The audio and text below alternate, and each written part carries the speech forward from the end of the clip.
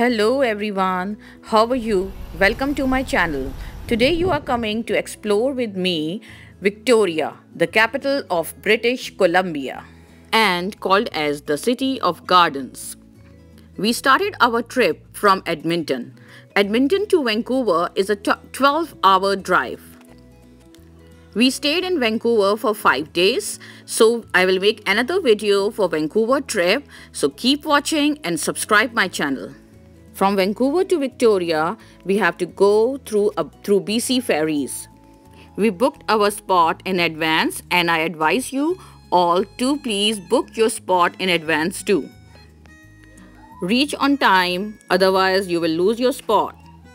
Ferry trip is a 90 minute trip and it starts from Vancouver, Tsawwassen terminal and it ends at Victoria, Swartz Bay. This experience was a wonderful experience for our family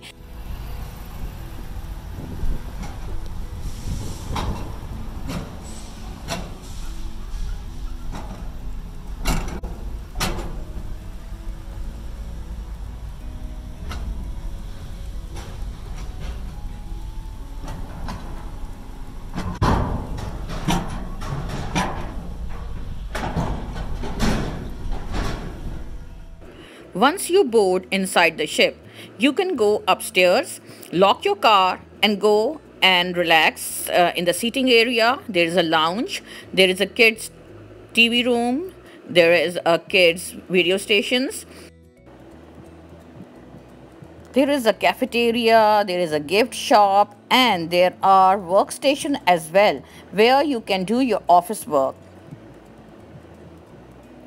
We love to be on the upper deck uh, as we love sea, you know.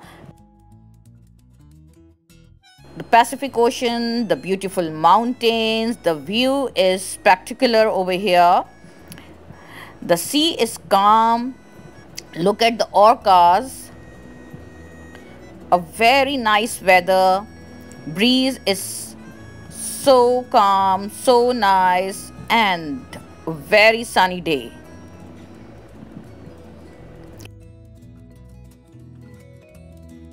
We can see the islands. You can see a uh, small lighthouse over here small small houses. You can see the ships. Also there are other cruises which are passing by from our ship. Look at the island over here. This is the upper deck more information you can get it from bcferries.com where you will get information about uh, ticketing, about timings and other things.